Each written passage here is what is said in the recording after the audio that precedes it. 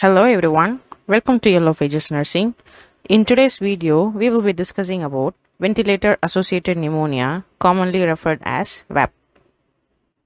Ventilator is a device that supports the process of breathing by pumping air into the lungs of a patient who cannot breathe naturally.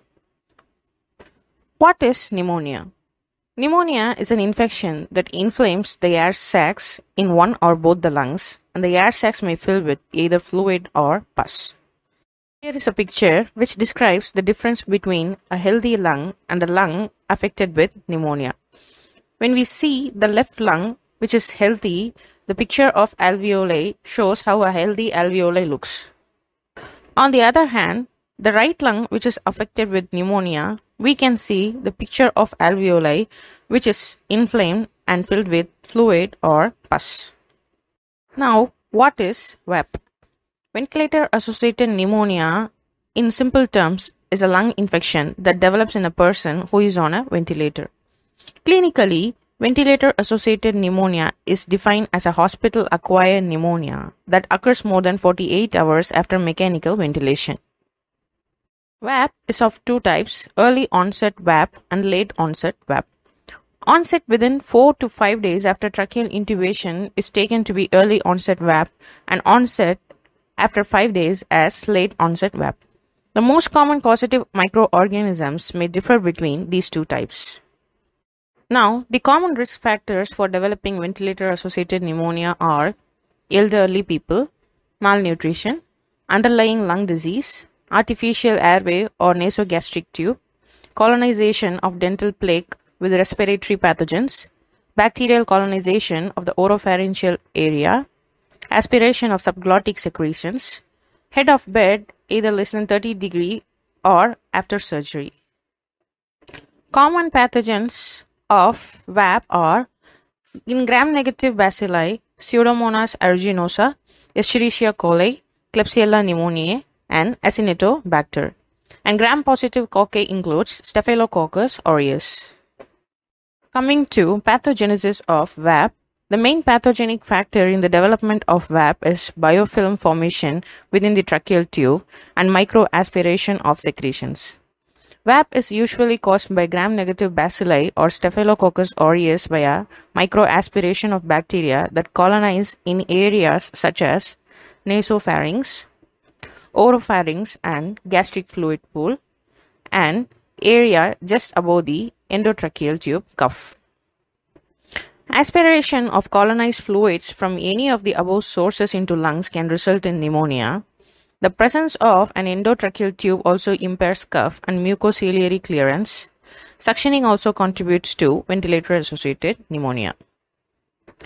Clinical presentation of ventilator associated pneumonia includes tachypnea, tachycardia, fever above 100 degree Fahrenheit, increased WBC count, increased purulent tracheal secretions, crackles in lungs, worsening oxygenation, hypoxemia, and PF ratio changes.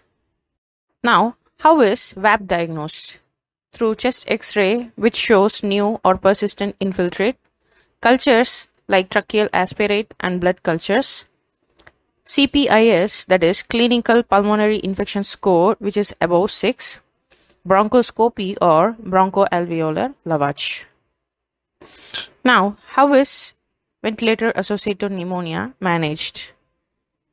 VAP is mainly managed with IV antibacterials like linezolid, amikacin, ciprofloxacin, levofloxacin, ceftazidime, tazobactam, piperacillin, imipenem, cilastatin, and other more antibiotics. These antibiotics depends upon the sensitivity to particular organism growth in the culture. Prevention of VAP.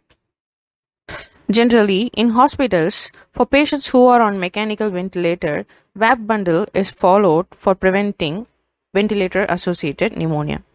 VAP bundle is a set of evidence-based interventions related to disease process that when executed together results in better outcomes than when implemented individually. Now, here are some evidence-based practices to prevent ventilator-associated pneumonia. First comes hand hygiene. using gloves appropriately. Next is semi-recumbent positioning that is head and elevated 30 to 45 degree unless contraindicated. This can be done with the help of angle indicator which is present on the bed. Next comes oral hygiene with 0.2% chlorhexidine. Oral hygiene should be done in every shift in order to prevent aspiration of oral secretions, which may sometimes slip down into trachea when the ET tube cuff pressure is inadequate. Next comes peptic ulcer disease prophylaxis or PUD prophylaxis or stress ulcer prophylaxis. Generally, H2 receptor blocker or proton pump inhibitors are given in order to increase gastric pH and minimize bacterial colonization that reduces the risk of VAP and GI bleeding. Next comes DVT prophylaxis that is deep vein thrombosis. It remains part of the ventilator bundle in order to prevent other serious complications that could increase the morbidity and mortality of these patients and should be retained. Commonly applied DVT prophylaxis include low molecular weight heparin pharmacologically and mechanically DVT pump or stockings.